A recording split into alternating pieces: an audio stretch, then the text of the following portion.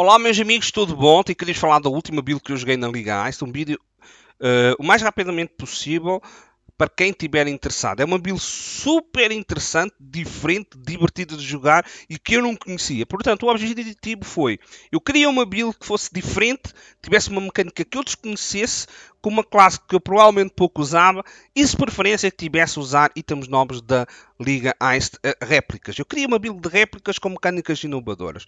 Então foi-me sugerido pelo Afana esta build, foi-me sugerido algumas builds, mas o Afana uh, sugeriu-me esta build que eu achei super interessante que eu não conhecia. Que é uma build de tornados usando o set do Sakawals. Este set é muito, muito interessante. Provavelmente vocês, se já usaram, sabem que é um set que vos dá um, um aspecto e esse aspecto vai-vos dar um, dois buffs que alter, alternam entre si.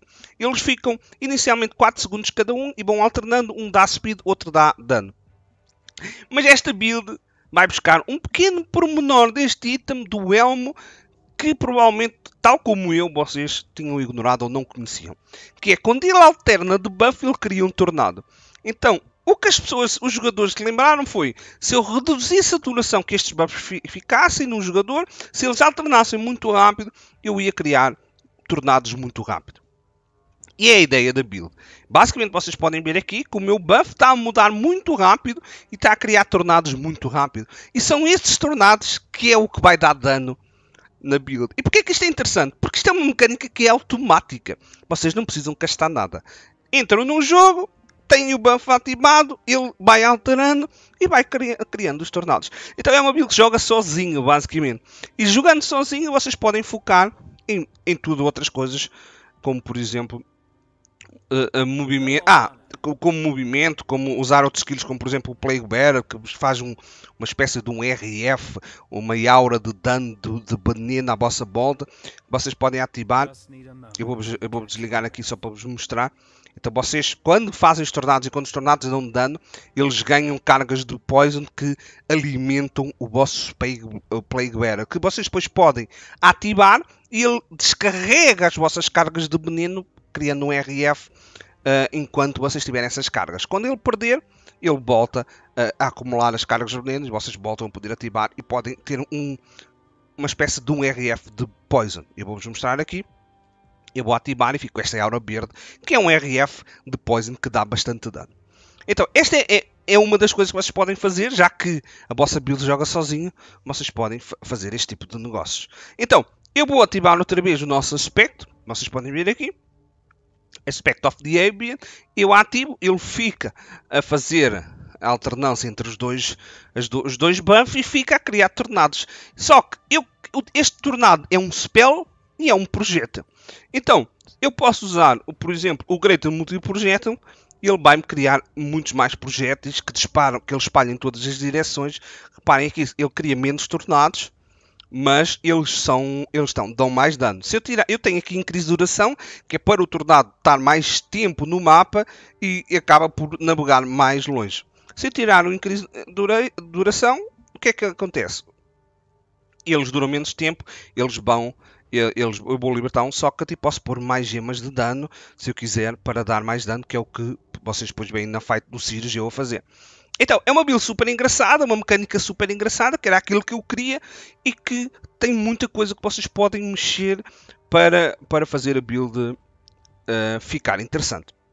E é por isso que eu fiquei super apaixonado por esta build, porque é uma build diferente, desconhecida e que tem uma data de mecânicas que eu nunca tinha jogado. E portanto, se vocês quiserem tentar, esta build, eu recomendo vocês tentarem. Eu segui um guia no fórum inglês super completo, super bem feito. Tem lá uma versão, tem lá um paste bin numa versão budget. Esta versão que eu tenho já gastei bastante dinheiro, não, não, já perdi a conta, final de liga, já provavelmente gastei 50, 60 exaltas.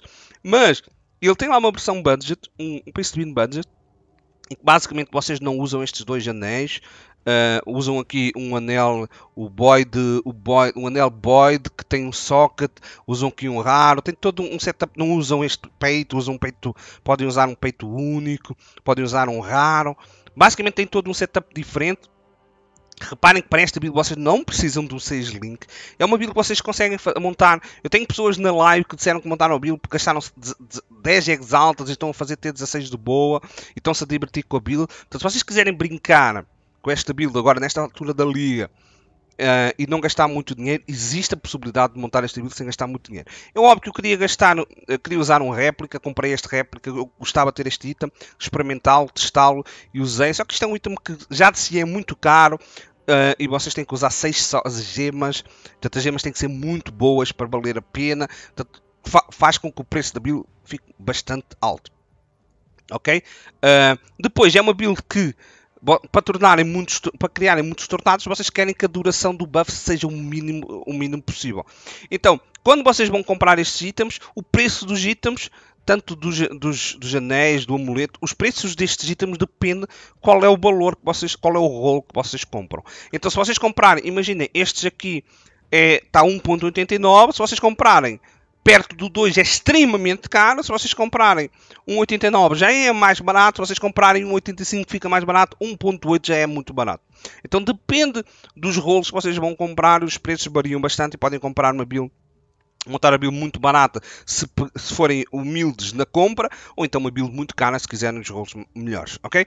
Então, que, que é que, porquê assassino? Porquê assassino? Porque esta é uma build que cria bastantes tornados, os tornados espalham, batem bastante, então Poison funciona muito bem nesta build.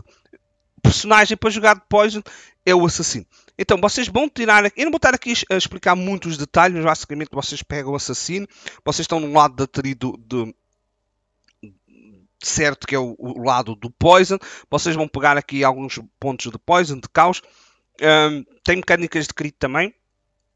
Vamos pegar este ponto aqui que transforma os vossos, os, vocês pontos de crit multiplier. É muito importante o Perfect Agony para vocês não acharem estranho. Pontos de crit multiplier são transformados em pontos de damage overtime multiplier for, for, for alignments. Portanto, uh, é aqui uma brincadeira que faz com que vocês possam pegar pontos que à partida não seriam úteis para esta build, mas com este ponto aqui eles passam a ser úteis. Podem usar clusters ou não.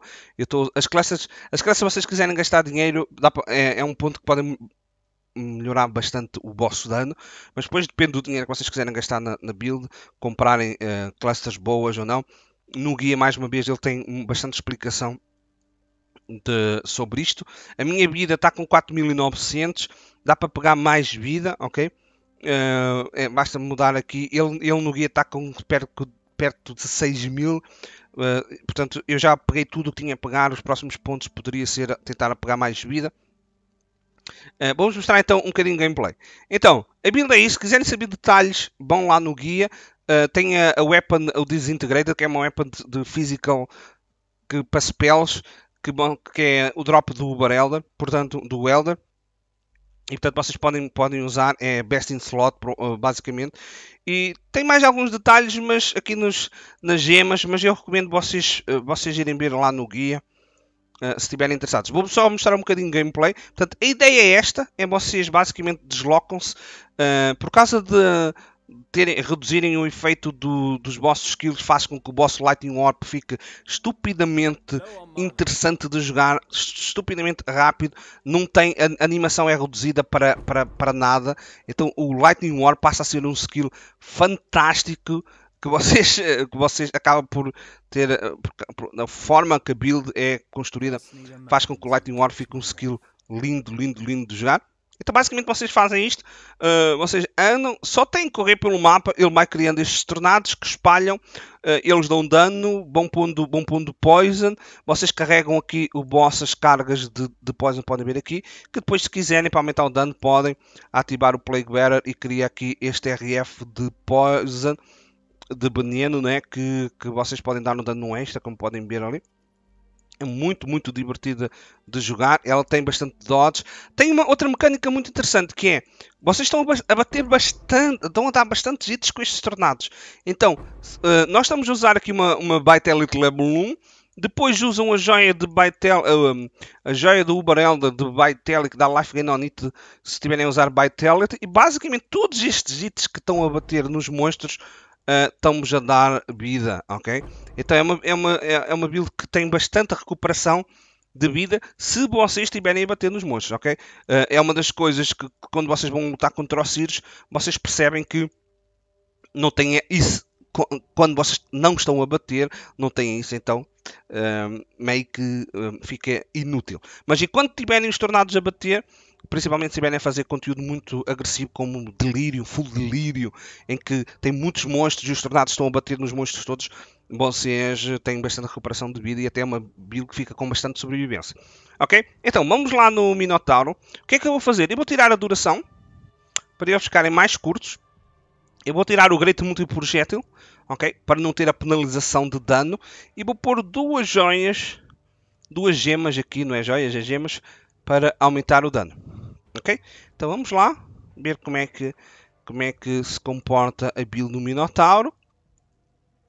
Portanto, podemos ativar aqui o nosso Plague Bearer.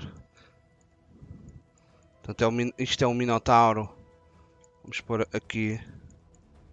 Vamos pôr aqui. Ok. Um, isto é um Minotauro, estava aqui com uns, uns monstrinhos. Mas vocês puderam ver que foi até bastante rápido. Eu estava a falar e a jogar ao mesmo tempo. É uma build que tem um dano bastante bom. Um dano bastante bom também single target. E é super, super divertido de jogar. Pessoal, espero que tenham gostado.